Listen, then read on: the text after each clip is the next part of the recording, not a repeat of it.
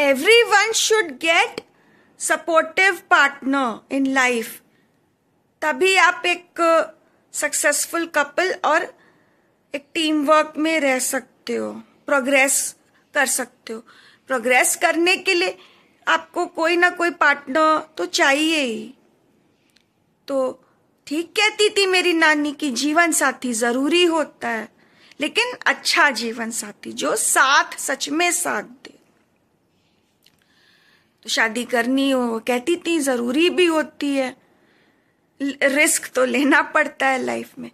और दूसरा मैं ये कहूँगी कि आ, किसी का मोरल लो करने का हक अधिकार राइट किसी को नहीं है।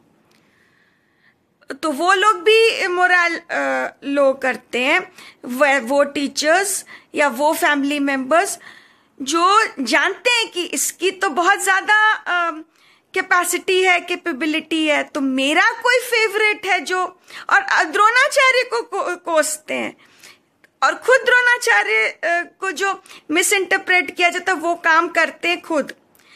कि इतना किसी को डिमोरलाइज कर दो डीमोटिवेट कर दो कि वो अपने ओरिजिनल फॉर्म में ओरिजिनल कैपेसिटी कैपेबिलिटी से दूर हो जाए।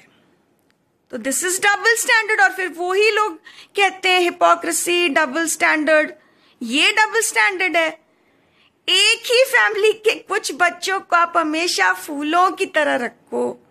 मारो नहीं, पीटो नहीं एसी में रहेंगे वो। उनका अपना प्यारा सा बचपन से कमरा है, सब कुछ है, पढ़ने का टाइम है। लाके उनके सामने दूध, सब कुछ परोसा जाए और दूसरे को फ्लक्चुएटिव बिहेवियर दो और वो सब। और फिर कहो नौकरी करते। तो भाई I am very happy royal थी मैं रॉयल हूँ। रॉयल पीपल को नौकरी की ज़रूरत नहीं है। हम तो वैसे ही नेचुरली गॉड गिफ्टेड लोग हैं।